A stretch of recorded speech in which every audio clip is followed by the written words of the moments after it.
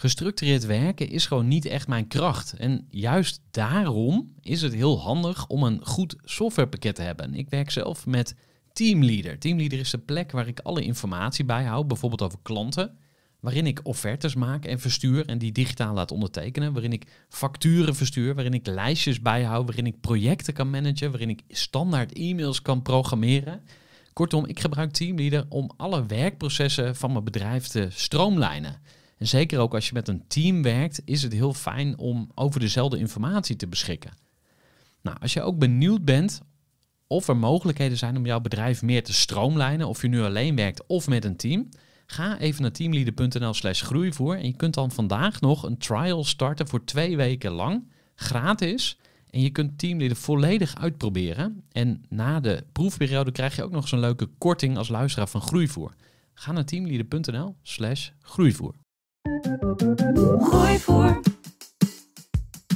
Gooi voor. Gooi voor. Zoek je inzicht, inspiratie voor je eigen bedrijf. Wil je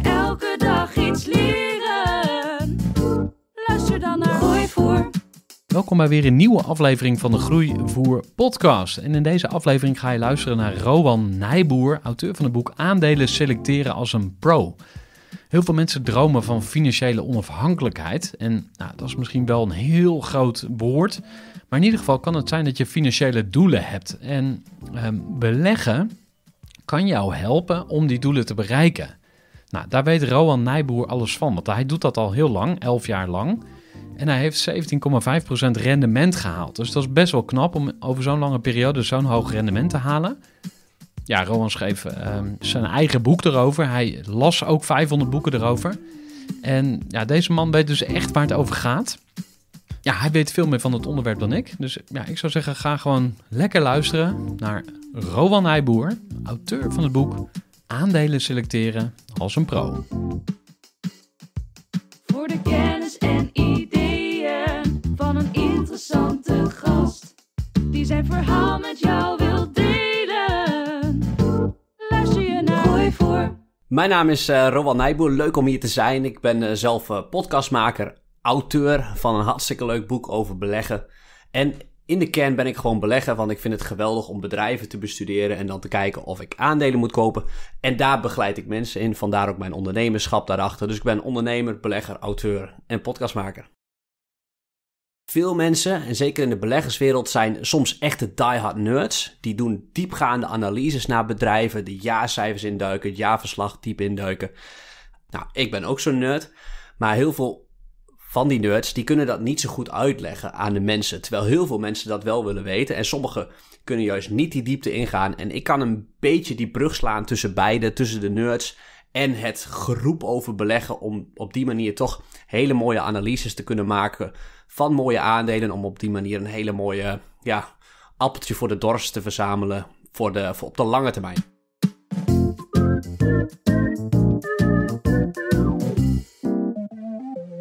Ja, beleggen was altijd al mijn passie. Vanaf mijn 15-jarige leeftijd ben ik daarmee begonnen.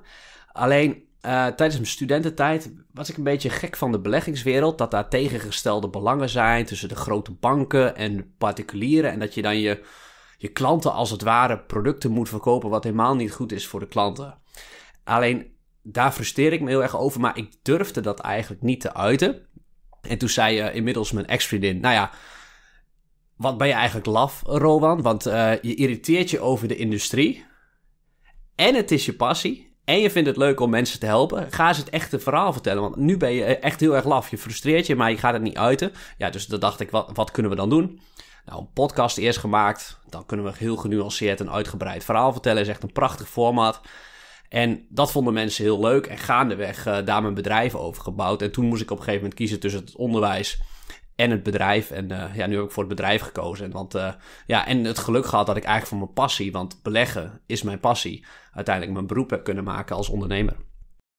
Kijk, ik zeg wel eens, ik stop 100 uur onderzoek in een bedrijf voordat ik überhaupt een aandeel koop. Maar het is zo'n complexe puzzel. Beleggen is echt, er is geen zekerheid in deze wereld.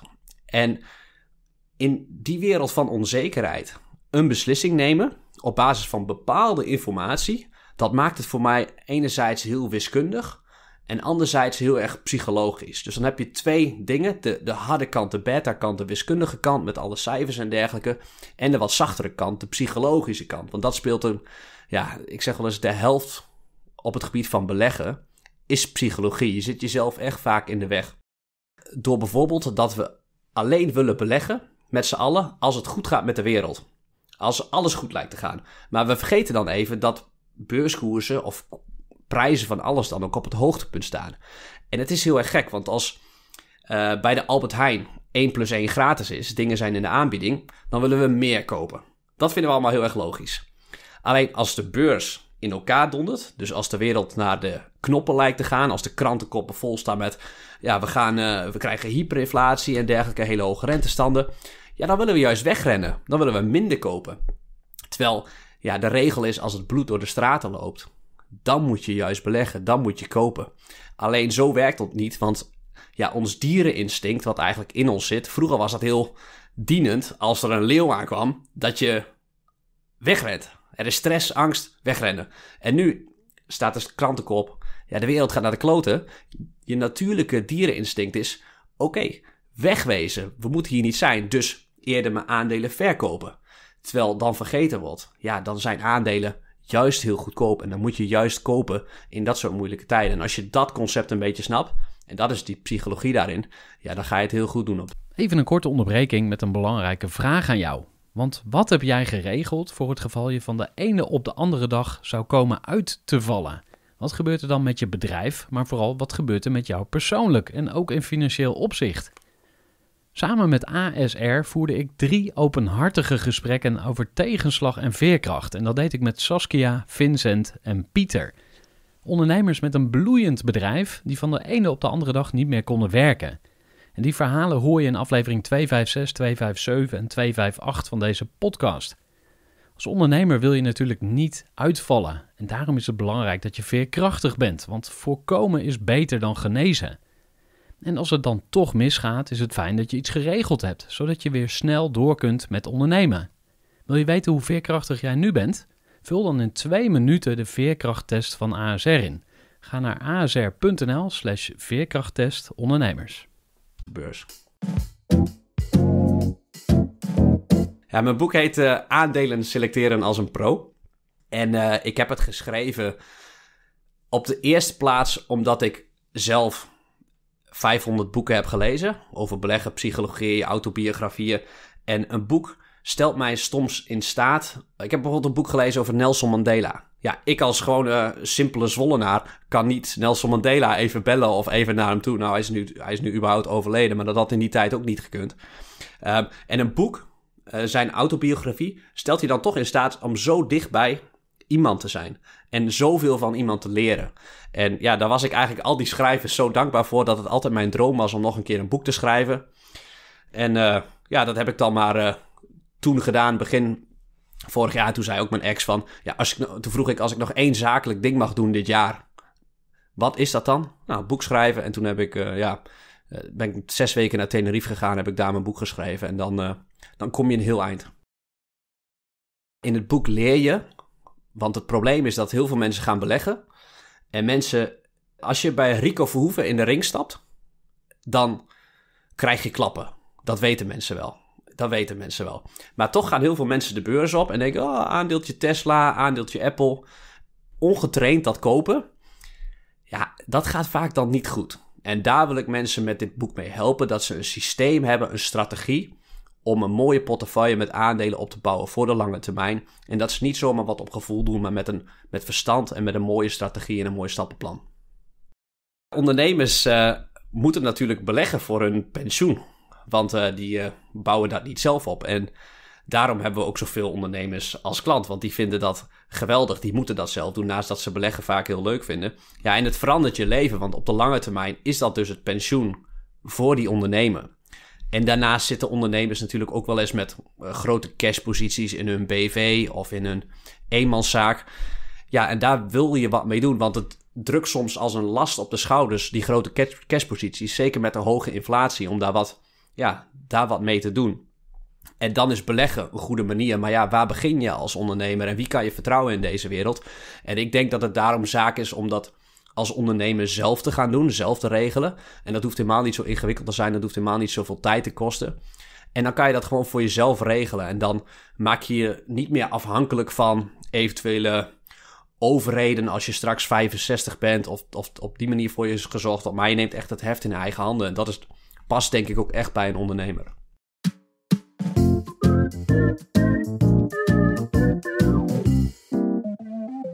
Iedereen kent wel een oom of een vriend die veel geld verloren is met beleggen. Nou, dat gaat dan soms zo'n generatie, wordt dat overgedragen, waardoor mensen niet beleggen. En dat komt, uh, ja, dat is terecht. Uh, ik weet niet of je de film Wolf of Wall Street hebt gezien. Maar uh, met Leonardo DiCaprio, dat is echt het prototype. De meeste mensen hebben dat wel gezien van hoe slecht Wall Street en ook de grote banken het soms voor hebben met gewoon de particuliere beleggen. Dat ze gewoon dat soms als portemonnee zien. Dat, en ook als je googelt op beginnen met beleggen, dan krijg je advertenties. Dat is zoveel rotzooi. Dan ben je veel eerder je geld kwijt dan dat je lang, op lange termijn een mooie, mooie zakcentje opbouwt. Ja, en dat maakt dat mensen heel erg huiverig zijn om te beleggen. En de beleggingsindustrie gebruikt ook heel veel vakjargon en maakt het daardoor heel erg, ja, allemaal in pak lopen ze. Maakt het heel erg, uh, ja, doen alsof het moeilijk is. En dat snap ik van hun perspectief wel, want dan hopen ze dat je het gaat uitbesteden. En dan kunnen ze hele hoge kosten rekenen voor waardeloze diensten. Maar die twee factoren, die, uh, die zijn denk ik wel heel belangrijk. Dat mensen dat niet zo, zomaar zelf gaan doen. En ik denk dat dat, ja, ik denk dat dat wel heel belangrijk is. En dat het vooral ook fantastisch leuk is om zelf te beleggen en de beste bedrijven uit te kiezen. En dan mee te surfen op het succes van die bedrijven. Ja, stel je hebt, uh, je hebt onderzoek gedaan, je hebt een paar uur onderzoek gedaan naar een bepaald aandeel ASML. En dan besluit je om die te kopen. Op de lange termijn zal, ik, ik geef geen advies over ASML zo, maar dit is als voorbeeld. Als een bedrijf het goed doet, zul jij het goed doen als belegger. En dan kan je gewoon meesurfen op dat succes. En dat geeft een ontzettende, ontzettende kick. Dus, dus dat is heel erg leuk dat je je onderzoek hebt gedaan en dat wordt dan bevestigd dat je gelijk hebt. Je gaat niet elke keer gelijk hebben trouwens. Maar dat is ook het mooie, daarom spreid je ook met beleggen. Dan hoef je ook niet elke keer gelijk te hebben. En je kan eigenlijk meesurfen op het succes van die beste bedrijven ter wereld. En dat zijn hele interessante bedrijven, waardoor je ook op de hoogte blijft van de nieuwste technologische ontwikkelingen.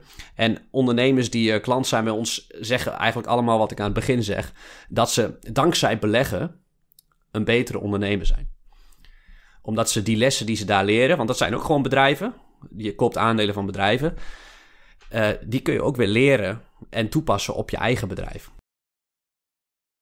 Wat ik zou gaan doen is dan uh, beginnen met uh, indexbeleggen. Dat is een bepaalde vorm van beleggen waarbij je een fonds koopt en waar je heel gespreid in soms wel duizend verschillende bedrijven belegt. En dan profiteer je eigenlijk uh, van het beter, telkens beter gaan met de wereld. Want aandelen over de afgelopen 200 jaar hebben gemiddeld 8% rendement per jaar gedaan. Ja, en daar kan je eigenlijk op meesurfen. En dat betekent niet dat je elk jaar 8% krijgt. Dan krijg je het ene jaar min 20%, ander jaar plus 30%. Maar gemiddeld op de lange termijn die 8%. En dat komt omdat bedrijven gewoon telkens meer waard worden. Niet elk bedrijf, maar als je dus goed spreidt, dan zul je op de lange termijn uh, die 8% rendement per jaar maken. En dat lijkt heel weinig. Als je 1000 euro belegt, 8%, dat is maar 80 euro in een jaar. Maar op de lange termijn, als je systematisch daar ook nog maandelijks een bedrag bij instopt, dan uh, ja, worden dat ontzettend mooie bedragen. Een klein rekenvoorbeeldje, als je maandelijks 100 euro kan missen en je gaat dat beleggen voor 30 jaar lang uh, tegen die 8%, dan zit je op de 140.000 euro over 30 jaar. Ja, en als je het rendement nog iets zou verhogen of de inleg iets zou verhogen, ja, dan wordt dat een veelvoud daarvan. En ja, dat geeft mensen toch de mogelijkheid om bijvoorbeeld ook een ondernemer om wat eerder te stoppen met zijn zaken als die dat wil, of gewoon, gewoon het rustiger aan te doen. Als iemand gaat beleggen, dan gaat, gaat, diegene juist op het begin elke dag kijken. Inloggen bij je broker wat die beurskoersen doen. En ik zou juist willen zeggen om dat vooral dan niet te doen. En je niet te laten leiden door de waan van de dag. Dus één ding elke dag doen is dan niet inloggen bij je broker. Op de eerste plaats omdat het schadelijk is. Want elke keer inloggen betekent dat je continu prikkels krijgt en dopamine shotjes Ja, je ziet de groene koersen of de rode koersen. En de ene keer ben je blij, want het is omhoog gegaan. De andere keer ben je verdrietig, want het is omlaag gegaan. Het zet heel erg aan tot handelen. Het zet aan van, oh, het gaat nu slecht. Ik moet misschien iets veranderen. Of, oh, het gaat nu goed. Ik ga even wat uitcashen. En uh, ja, de wetenschap heeft wel... Op de universiteit had ik het geluk dat ik uh, kon onderzoeken wat werkt en wat werkt niet op de beurs. Nou, iets wat niet werkt is veel handelen. De beste beleggers zijn uh, mensen die overleden zijn. De echte dooien, ja, die kunnen niet handelen. Daar hebben ze wetenschappers in die portefeuilles gekeken. En ja, doordat ze gewoon hun aandelen kochten en hielden. Het zijn dus verdwaalde portefeuilles van mensen die overleden zijn. Vroeger was dat nog, stond dat nog niet allemaal zo mooi op naam en zo. En er was het nog niet digitaal en dergelijke. En er waren gewoon, had je verdwaalde aandelenportefeuilles. En dan is uit onderzoek gekomen dat uh, de dode beleggers de beste zijn. En degene die het meeste handelen, en dat zijn dus degenen die het vaakste inloggen, want dat zet aan tot handelen, die dopamine shotjes die je krijgt, die uh, behalen de allerslechtste rendementen. En uh, mannen, mannen komen daarna als groep, die zijn dus eigenlijk de ene slechtste, en vrouwen zijn betere beleggers. En de dode beleggers zijn de allerbeleste. Vrouwen zijn, zijn wat, wat cooler, wat genuanceerder. Hoeven niet elke keer te kijken. Hoeven niet stoer te doen tegenover vrienden. Van, oh, kijk mij eens goed gaan. En dat, dat helpt gewoon heel erg. Een groot ego, waar mannen iets meer last van hebben, dat, uh, dat is een nadeel op de beurs. Ik probeer heel nederig te blijven. Want ik weet hoe gevaarlijk het is als je met voetbal drie keer op goal schiet. Drie keer in de kruising. Ja, op een gegeven moment ga je een beetje denken dat je de koning bent. Terwijl het ook gewoon een geluksfactor kan zijn. En ik probeer, hetzelfde op de beurs, als je drie aandelen koopt achter elkaar ze gaan allebei, allebei hartstikke goed, dan ga je toch een beetje denken dat je goed bent. En dat is heel erg gevaarlijk, want op dat moment ben je blind voor de risico's. En bij beleggen draait het niet zozeer om omhoog te kijken naar de kansen, hoeveel geld kan ik verdienen, maar vooral om naar beneden te kijken, wat zijn die risico's. En ja, door nederig te blijven maakt het mij heel erg nuchter om vooral op die risico's gefocust te zijn. En niet zozeer op de kansen. Want als die risico's gedekt zijn, je hebt ze in beeld, kom je minder snel voor rare verrassingen te staan. En dan volgen die kansen vanzelf wel. Mijn eigen beste inzicht is dat het niet altijd goed gaat. En dat is ook met de, op de beurs zo. 2022 was een hartstikke slecht jaar voor beleggers. Maar dat dat niet een reden is om op te geven. En als ondernemer, als je een project probeert en het gaat mis, dan gaat dat slecht. En ook gaandeweg ga je groeien als ondernemer. En die groeipijn, dat vond ik altijd zo verschrikkelijk. Jolo, je doet iets, je doet zo je best en dan gaat het mis. Alleen later in het ondernemen ben ik dat gaan waarderen. Van, oh, shit, ik loop nu tegen iets pijnlijks aan. In het verleden kon ik daar echt misselijk van worden. Nu is het eigenlijk, zie ik het als een succeservaring. Want oké, we lopen weer tegen wat op. We worden weer uitgedaagd door iets. En ook hier komen we wel doorheen.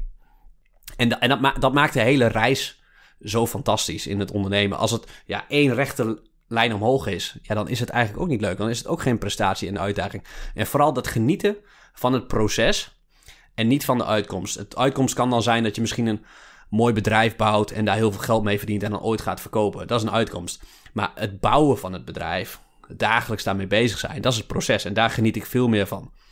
En dat als beleggen trouwens ook, ja, beleggen is de enige hobby eigenlijk waar je mee bezig kan, die heel veel geld gaat opleveren als je niet hele domme dingen doet. Alleen dat geld, dat boeit me dan niet. Dat is een uitkomst. Uh, natuurlijk ben ik wel een beetje competitief, wil ik, wil ik graag wel een goed rendement halen. Maar het proces, het onderzoek doen naar bedrijven en het beleggen. En uh, ja, dat uiteindelijk ook opschrijven in mijn boek, dat is wat het heel erg leuk maakt. Ja, dat kan op bronwanijboek.nl slash boek. Dan krijg je er ook een leuke masterclass bij. Maar ook op uh, bol.com of de andere online boekhandels.